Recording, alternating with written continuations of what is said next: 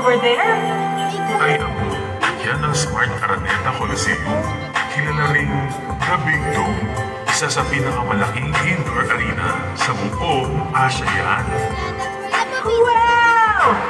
Ang galing! Ang galing! Anak, diyan madalas naglalaro ang mga famous na basketball players, boxers, at iba't ibang sports pa. Hindi lang sports anak. Mga circus, local and international concerts, at syempre, mga beauty pageants rin. Ay, nanonood kami ng daddy mo lagi noon. Nakita mo rin ba yung giant Christmas tree? Naging tradisyon na rin yan na sinisindihan tuwing magpapasko. Oh,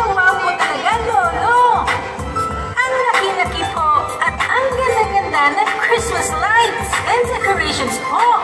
Ano yung katabi na bago ng Big Dome? Mall ba yun, Kuya Felix? Ay oo, Ernie. Yan ang Gateway Mall.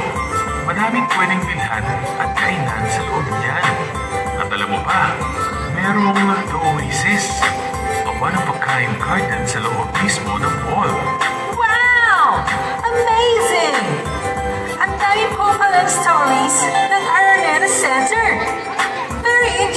Talaga. Anong regalo po? Na-excite naman po ako! Higit pa sa regalo ito. Lingon ka sa likod mo.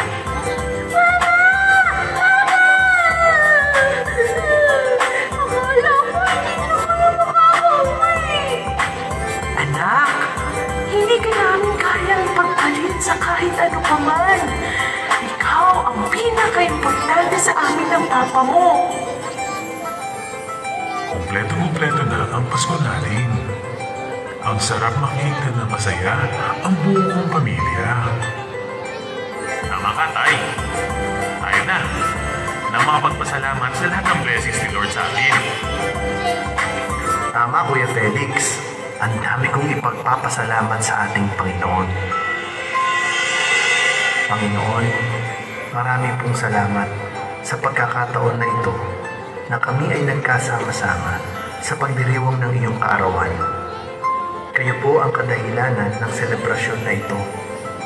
Lahat ng papuri ay sa iyo lamang, sa ngalan ng Ama, ng Anak, at ng Espiritu Santo. Amen. Tunay nga naman na hindi lamang masasarap na pagkain, mga parties o mga regalo. Masayang pagbibigayan, nag-reunion, pagkakasama-sama ng mga pamilya, kundi ang kapanganakan ng ating Panginoong Hesus. Siya ang tunay na dahilan ng Pasko. Maligayang Pasko at manigong bagong taon.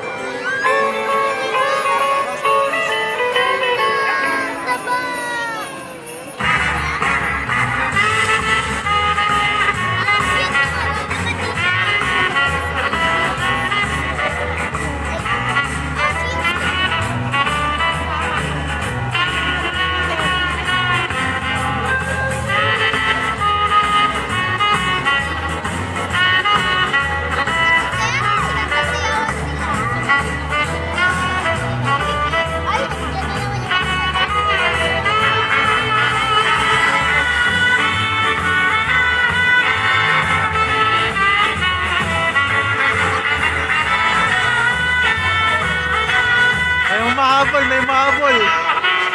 Oy, sakay kami, sakay kami.